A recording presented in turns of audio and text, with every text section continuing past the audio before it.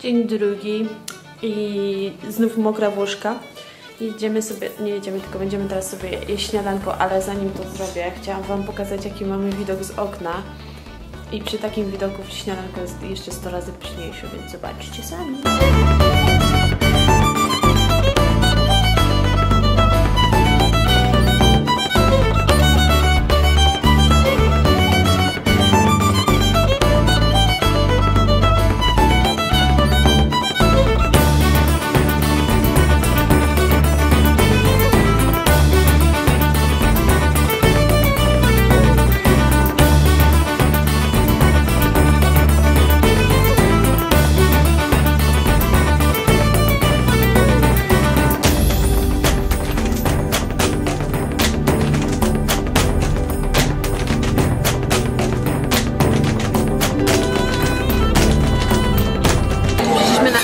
Mimi's Bakery, którą nam poleciła Pola i teraz będziemy się rozkoszować słodyczami. Po prostu deserem jest tak pięknie wszystko podane, w ogóle jest tak piękny lokal, mówię Wam.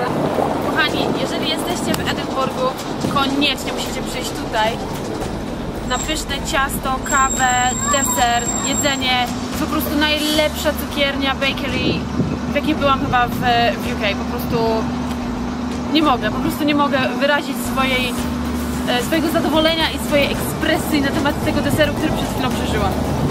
Także koniecznie znajdźcie się tutaj. Polecam serdecznie!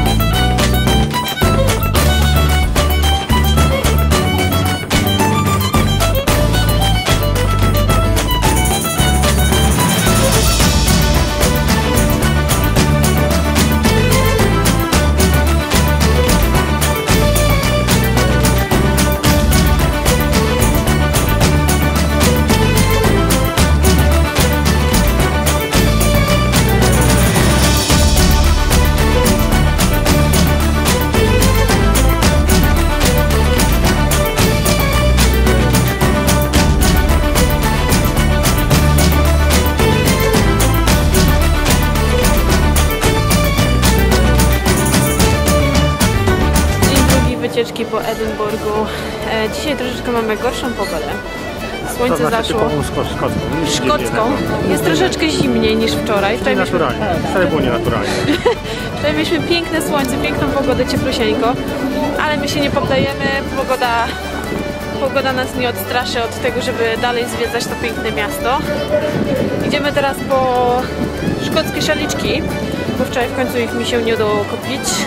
Więc dzisiaj mój plan to szkockie szaliczki i zobaczymy jakie atrakcje jeszcze sobie dzisiaj wynajdziemy.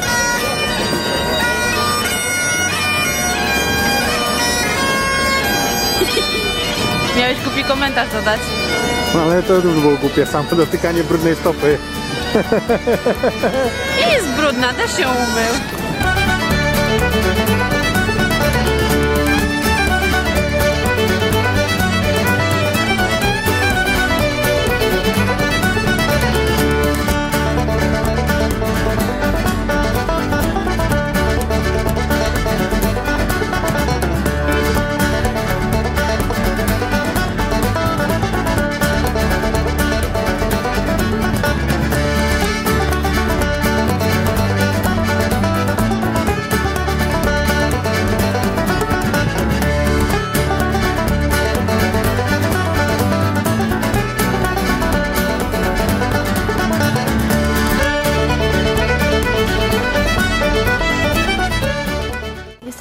Kaplicą Roslin, w Roslin.